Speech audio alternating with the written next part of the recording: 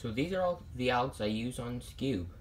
This isn't really a tutorial as much as just a collection of algorithms that I use for OLL and PLL, I guess. For OLL and last four centers, whatever, I'm just gonna call them OLL and PLL because those are the most familiar terms with anyone who does 3x3, OLL referring to this, and PLL referring to this. So there are a total of 10 OLL algs and 3 PLL algs. So I'm going to go over the OLLs first, and then the PLLs. By the way, this is using Sarah's intermediate method, which is basically first layer OLL and then PLL. There are two triggers that you need to know for all of these algorithms. Sledgehammer, which is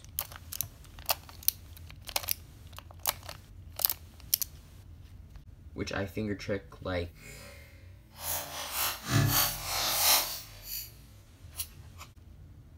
and the hedge slammer, which is and I finger trick like so the first OLL case is this one, where you have no solved pieces on the top, in this case being yellow.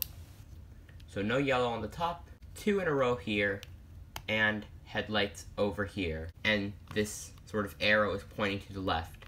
And that algorithm is just the sledgehammer. The next algorithm is a mirror of that, which is the arrow pointing this way, and the headlights here. And how to do that is, you guessed it, the hedge slammer, which is the inverse. The next case, which is also pretty easy, is when you have only the one center here, and headlights here, and opposite directions here. I like to compare it to this case on 3x3, where you have a solved cross or centerpiece, headlights, and opposite facing pieces.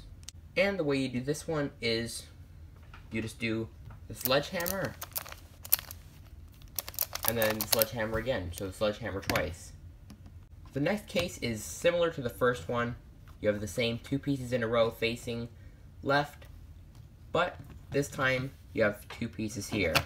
And the way that I do this one is I rotate it so that this left facing arrow is on the left, and then I do the sledgehammer, rotate, and then another sledgehammer. So there's a rotation in between, like sledgehammer, and then you rotate, and then sledgehammer.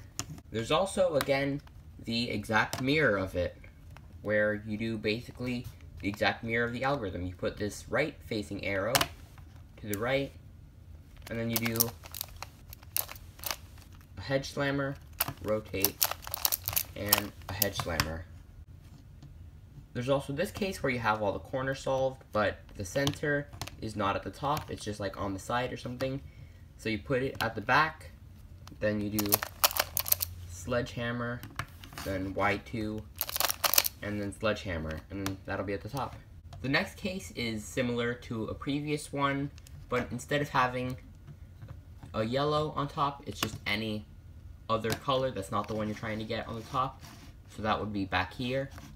So the way that I do it is I do a sledgehammer, then put this yellow at the back, all the corners are solved, and then do a sledgehammer, rotate 180, and then do a sledgehammer. This case was one of the trickiest for me to do when I was just learning Skewb, but I eventually found this way of doing it. I put it at the right hand side, and do sledgehammer, then do that same case where you have this and you put it at the back, so for this case, it's just a diagonal line of pieces and these two stickers facing you. I just do sledgehammer and then get the case where you just have it like this and you do sledgehammer. This one's really inefficient. So these last two I'm just going to show two at a time because they're super similar with one very small difference. You have these two pieces here with no white in the middle, or whatever color you're getting on top, and you have these two stickers facing you, but the one difference is that this one is on the left and this one's on the right, or like if you just glance over here, you have it on the right and on the left. So for the one where the piece is on the right, then I do a sledgehammer, and then that gives me this case where I can do a hedge slammer or the appropriate algorithm for that. And for the one that's on the left, I do a hedge slammer from here, and then I do a sledgehammer, and that gets OLL finished. Then there are the three PLLs. These are the U perm, the H perm, and the Z perm. So for the U perm, then I just go along this axis and I do sledgehammer, rotate, sledgehammer, and that gets it finished. For the Z perm, I hold it like this, and I do this algorithm.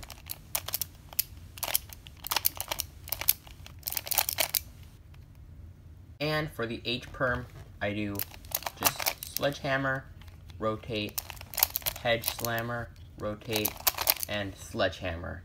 So those are all the OLL and PLL algorithms I use on this cube. If you learned something, like this video and subscribe for more tutorials, unboxings, reviews, and more cubing content. And I'll see you in my next video.